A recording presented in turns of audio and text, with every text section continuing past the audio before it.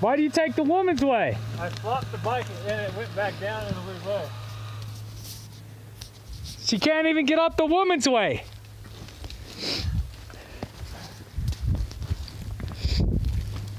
This way's much easier.